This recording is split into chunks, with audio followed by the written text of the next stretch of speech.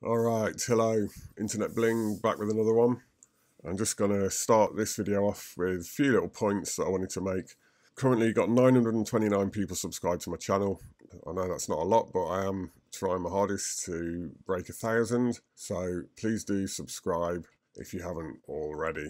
I do see a lot of people on here who watch my videos and haven't subscribed. So it would really help me if you subscribed and I'm just trying to get up to 1000 subs right now so that shouldn't take long. Next point is private messages.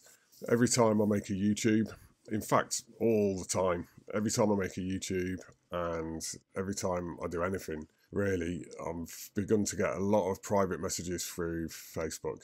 Uh, in between sort of 10 and 30 every day and there's too many of them I, I just can't put the time into them I spend a lot of time of my days working, and if I just help people on private messages all day, it'd be nice for them, but it wouldn't enable me to do any work at all. So please don't send me any private messages. I'm really not being rude. I just haven't got the time to answer any of them.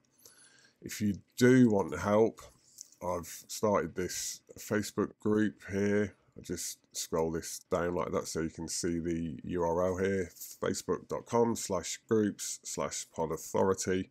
This was originally just for people who bought my course, but I've decided to relax that a little bit and change it. So if you want to come over here and you need to answer a few questions, this is a point I'm going to make. I just tried to join here under a URL. There's a few questions here and I still get a lot of people every day just request access to the group and not answer the questions.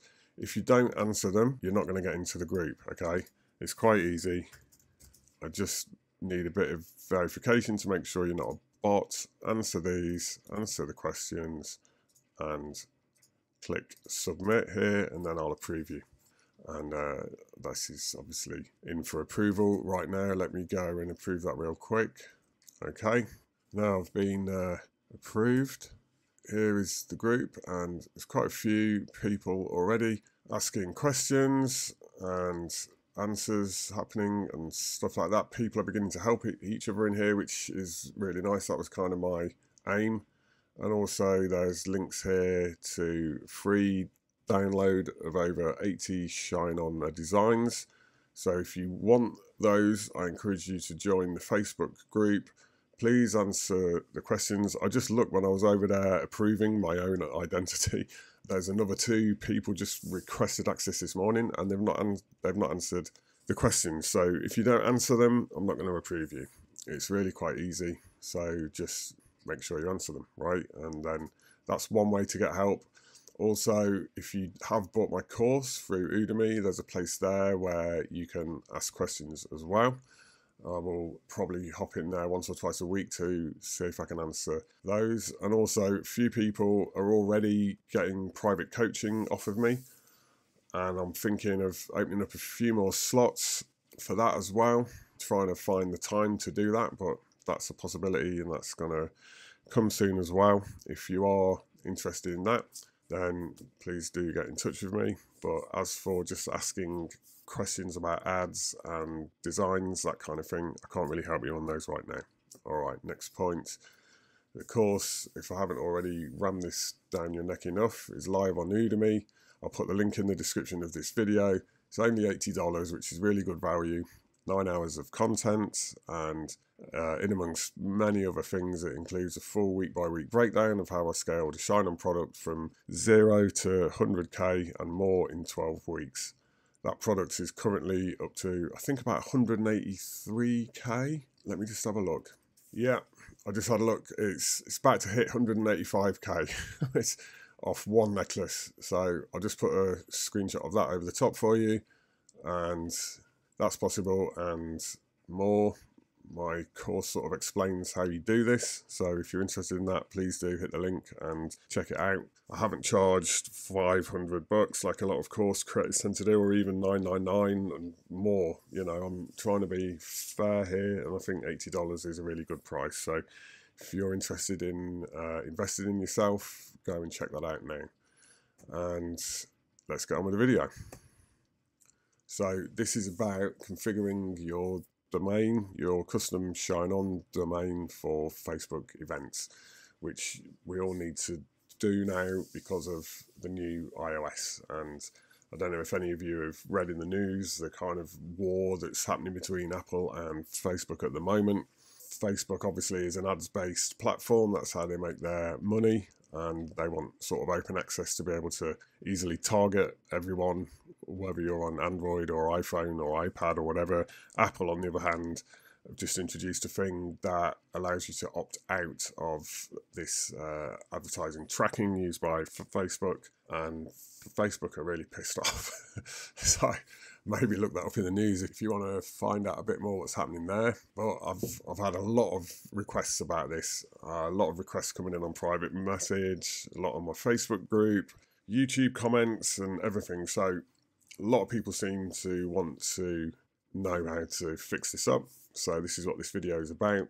Again, there there's a couple of shine on videos about it, and I, I don't want to hate on those guys, but like a lot of their videos, are, they're just a sort of a headshot of a guy talking as he takes you through stuff, and not very well explained. So I'm just gonna try and rectify that here and walk you through the steps that you need to get this fixed up. First, you need to make sure your domain is verified. Number one with Shine On, and number two with Facebook. I walk through how to do this in my video here. Free course number 11, how to add your custom domain. So if you haven't already sorted that out, how to do that is in that video there. So go and watch that and do not do the steps in this new video until this above one is completed. All right, the instructions are in free course 011. So look that up and my domain is enabled in Shine On here. So if we go to my products, so log in first. If we go to my products, you can see where we get the links here. I can choose to either use Shine On's domain, which I do not recommend you do anymore, or I can use the one that I added myself your domain works okay here by coming into your product and you'll see here that you can pick. I've changed the uh, domain to here and I can just copy this for the base variant, drag this bar down so you can see my URL bar and then paste that in and that's got my custom uh, domain working for product with Shine On and there you go. That is a hosted Shine On page being used with my own custom domain. So that's got that verified and working as was here.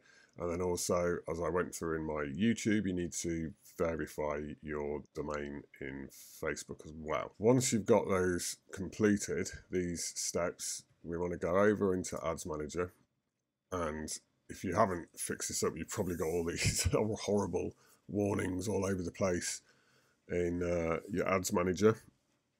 Luckily, um, none of these ads are actually on, but anyway, what we're going to do here is go to Resource Center and we need to fix up pixel events with our new customer domain. What I'm going to do here is do review pixels and that will open the events manager. If you do not have these warnings here like this, you can get to events manager here, right? So just click through to get to Events Manager there. I'm going to go back to this other window and it's on about aggregated event management, blah, blah, blah. What we're going to do here is we're on the heartfelt pixel. We're going to go to aggregated event measurements. We're going to do configure web events. It'll bring up a list of our domains here and this is the one we're using. It's been verified by Facebook, as you can see, which is what we needed here. And what we're going to do is do manage events. And none of this is important because I don't have any ads running in this ads manager. So what we need to do now is add our events one at a time in this order, okay? This is because the highest priority, what we need is uh, just pick the pixel, heartfelt obviously, and then we choose an event and we need to find purchase. right? That's what we want as the highest priority, okay? That's the most important event on this pixel. We want is purchase and then we're going to work along the list in this order. Add payment info initiate checkout add to cart view content page view lead. Lead isn't really important but I just put that in anyway because you might as well add it in. So we've added purchase at the top and then we're going to go add event. Choose our heartfelt pixel again or whichever one you're using. And then we want add payment info like this. Any of these that you add will say no activity in over 28 days if you haven't been sending traffic, which I haven't really in this ads manager because I've just been using it as an example account for YouTube and my Udemy course. So none of that matters, but you do need to add these in in this order. So we've got add payment info as the next priority uh, along the list, add event again, and just work through like this in this order. So what's next is initiate checkout. There. Add another one.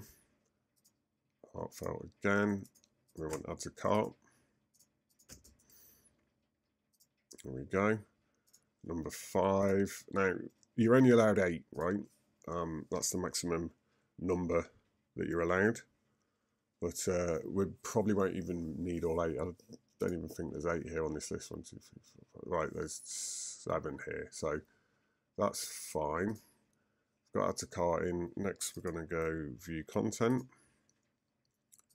After that, we're going to go page view, if it's even in here.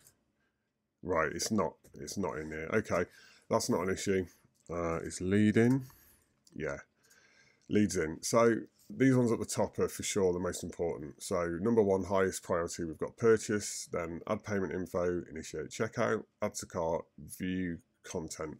Lead, honestly, you don't really need that in, but I do quite a lot of work with e um, emailing myself. I grow a lot of lists and I email them. I do a lot of work with emailing, so I, I would always put this in on my own pixels. You don't have to as long as you've got one, two, three, four, five here like this. If you've got page view in yours, that's you might want to include that. But apart from that, just make sure these ones at the top are enabled. Click submit.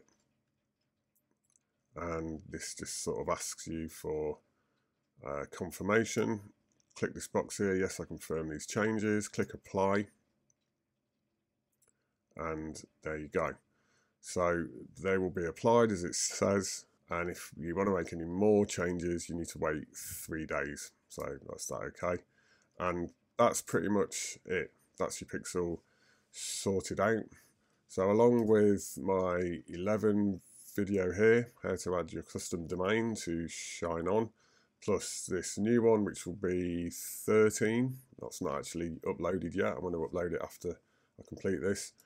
Once you've sorted this out here, you'll be completely set up to run ads to your new custom domain platform pages on Shine On.